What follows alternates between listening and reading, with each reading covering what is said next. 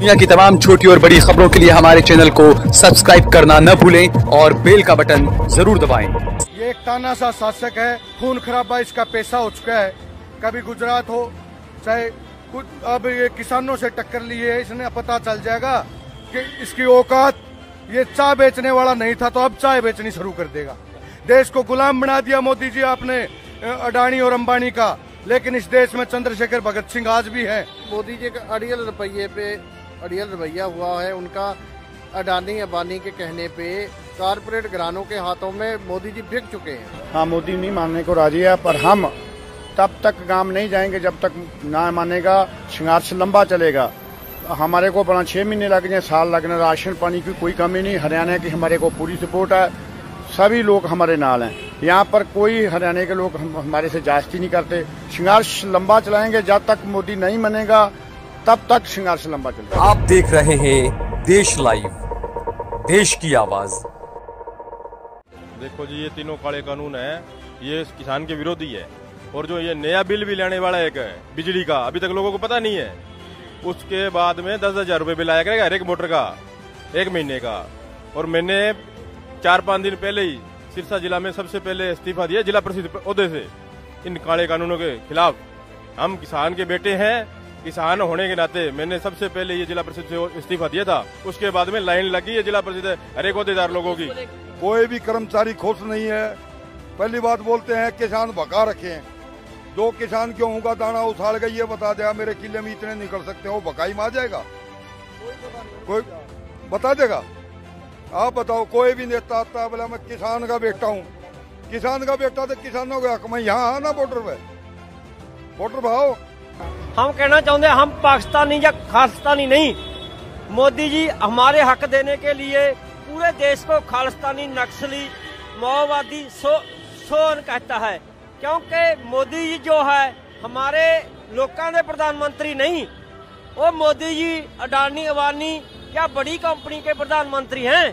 क्योंकि 2014 में उसकी जो इलेक्शन हुई थी, उसमें सारा पैसा या उसकी कंपेन अडानी वानी ने चलाई थी? क्योंकि वो उसका ही मैनेजर है। वो देश का प्रधानमंत्री नहीं रहा। ये देश का प्रधानमंत्री होता, वो आज दो किलोमीटर पर, दिल्ली की ब्लूहों पर हम आए, वो आके लोगों के साथ, वो हमारी आवाज़ सुनता। इसको जो सीटें आ गई ना, इसको घमंड हो गया है। ये चीज़ इसको सोचनी चाहिए किसान के बारे में। कोई किसान जो है हम गरीब आदमी हैं, हम कहाँ से स्टोर बना लेंगे? बोलता है इस कानून में किसान स्टोर बना लेगा, अनाज इकट्ठा कर लेगा। हम अनाज इकट्ठा करके क्या करेंगे? हमने तो अपने फ़ायदे के लिए जो बोते हैं उतना ही। अगर किसान, हम, मैं कहता हूँ, अगर चार साल गेहूँ वगैरह कोई चीज़ नहीं बोए तो मोदी को पता लग जाएगा कि गेहूँ फिर बाहर से मंगाता फिरेगा। ये सरकार है, ये बहुत डीट सरकार है। ये अहंकारी बंदा है, बहुत ज़्यादा। खेती मानने वाला नहीं। हम इसको मना के जाएंगे क्योंकि हमने पहले दो महीने पंजाब में रेल की पटड़ी रोकी थी उसके बाद इन्हें हमारी बात नहीं सुनी हमारे जथेबंदी के आगू भी वहाँ पे आए तो ये बात नहीं सुनने को तैयार अभी अभी हम इसको सुना के जाएंगे हम ऐसे वापस नहीं मुड़ेंगे ਇਹਨੂੰ ਕਰਨਾ ਪਊਗਾ ਜੀ ਸਾਡੀ ਅੱਜ ਦੀ ਗੱਲ ਯਾਦ ਰੱਖ ਲਓ ਇਹਨੂੰ ਕਰਨਾ ਪਊ ਕਰੋ ਮਰਜ਼ੀ ਹੈ ਕਰ ਫਰਕ ਆਵੇਗਾ ਫਰਕ ਆਊਗਾ ਫਰਕ ਆਵੇਗਾ ਇਹ ਜਨ- ਜਿਨ- ਜਿਨ੍ਹਾਂ ਨੇ ਇਹਨੂੰ ਰਾ- ਗੱਦੀ ਤੇ ਪਾਇਆ ਉਸੇ ਜਨਤਾ ਨੇ ਪਾਇਆ ਜਿਹੜੀ ਜਨਤਾ ਸੜਕਾਂ ਤੇ बैठी है सबसे पहले तो मोदी जी को समझना चाहिए कि लोकतंत्र बड़ा होता है कोई भी सरकार नहीं बड़ी होती लोगों द्वारा चुनी हुई सरकार होती है जब आपके देश का किसान जिसको आप देश के रीढ़ की हड्डी बोलते हैं वो आज जमीन पे सोया हुआ है और वो भी पंद्रह दिन हो गए और उसको आप इस तरह से पहले उसके साथ आपने व्यवहार किया आपने गड्ढे खोदे आपने उन पे वाटर कैनल फेंका और फिर भी वो शांत में ही बैठा है और उनकी मांग क्या है? सिंपल सी मांग है, जो चीज़ उनको पसंद नहीं है, वो आप वापस ले लो। जब जब भी किसी, चाहे राजा हो, चाहे वो लोकतंत्र में हो, चाहे जब राजे महाराजे, तब। जब जब भी वो तानाशाही पे उतरते हैं, तब उनकी हालत इसी प्रकार की होती है। आज मोदी सरकार तानाशाही का रूप धारण कर चुकी है, लोकतंत्र को जहाँ कुचलने का वो प्रयास कर रही है, वहाँ इस गलती में, गलतफहमी में उसने पहले दो ऐसे कानून बनाए थे, चाहे वो नोटबंदी का कानून है, चाहे हमारा जीएसटी का कानून है। लोग उस ढंग से उसका विरोध नहीं कर पाए।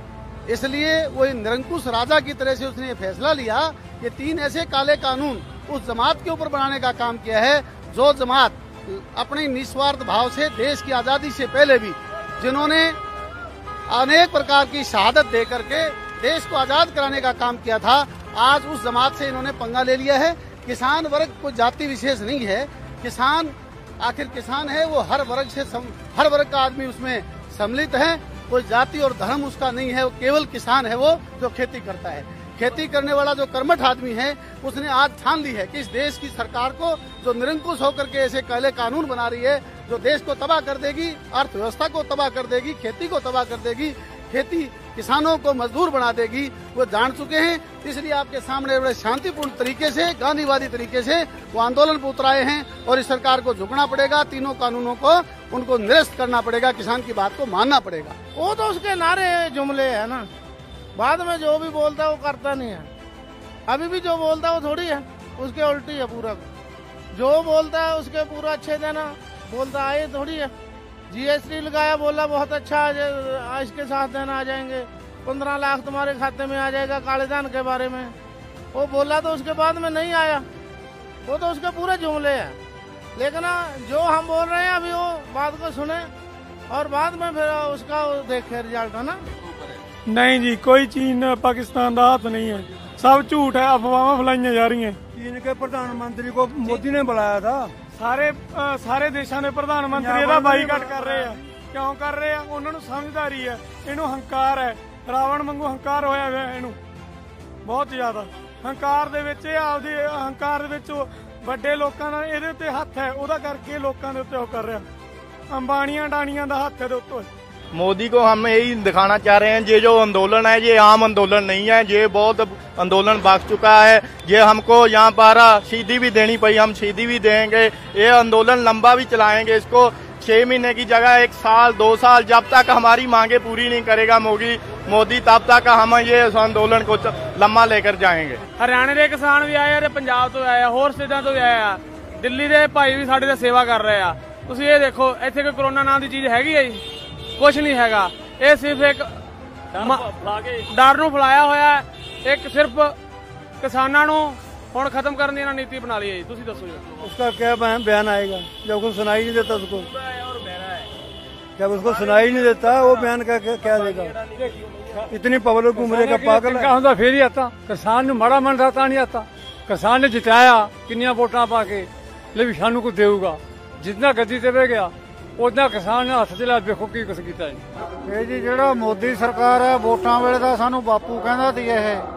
ਪਰ ਜਦੋਂ ਵੋਟਾਂ ਲੈ ਲੀਆਂ ਉਸ ਤੋਂ ਬਾਅਦ ਇਹ ਸਾਰਾ ਕੁਝ ਹੀ ਮੁੱਕਰ ਗਿਆ। ਇਹ ਬਾਹਾਂ ਖੜੀਆਂ ਕਰ ਕਰਕੇ ਪੰਜਾਬ ਦੇ ਵਿੱਚ ਜਿਹੜੀ ਸਾਡੀ ਮੇਨ ਮੰਗ ਤੀ ਉਹ ਸਵਾਮੀ ਨਾਥਨ ਰਿਪੋਰਟ ਦੀ ਸੀ। ਇਹਨੇ ਉੱਥੇ ਆਪ ਕਿਹਾ ਵੀ ਜਿਸ ਦਿਨ ਮੈਨੂੰ ਵੋਟਾਂ ਪਾ ਕੇ ਤੁਸੀਂ ਸੱਤਾ ਦੇ ਵਿੱਚ ਲਿਆਓਗੇ, ਪ੍ਰਧਾਨ ਮੰਤਰੀ ਬਣ ਗਿਆ।